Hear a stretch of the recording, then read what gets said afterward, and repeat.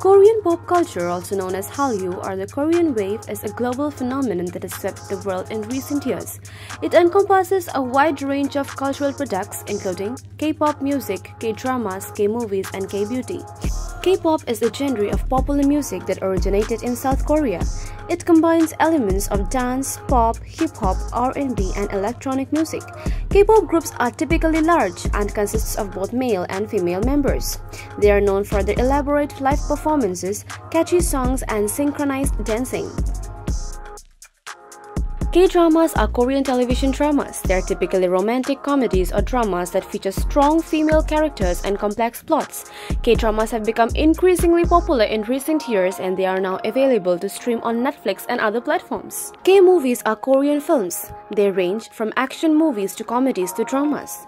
K-movies have also become more popular in recent years and they have won several awards at international film festivals. K-beauty is a term used to describe the Korean beauty industry.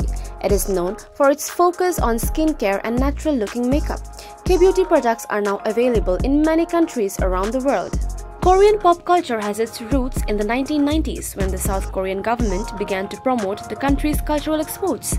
The government's efforts were successful and Korean pop culture began to gain popularity in Asia. In the 2000s, Korean pop culture began to spread to other parts of the world and it has continued to grow in popularity in recent years. Korean pop culture has had a significant impact on the global cultural landscape.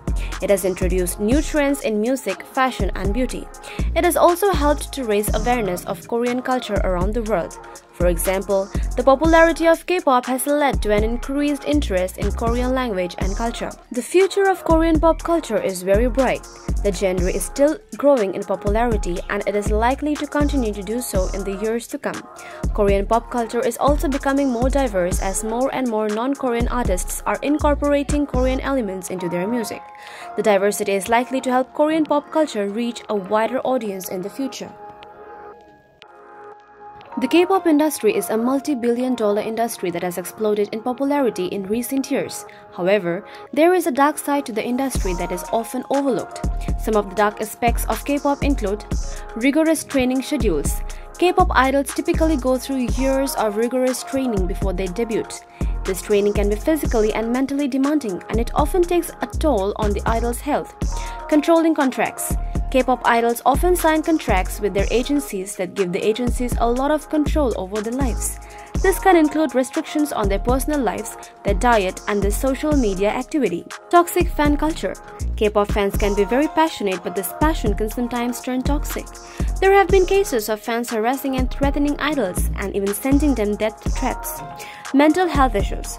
The pressure of being a K-pop idol can be very high and this can lead to mental health issues such as anxiety and depression.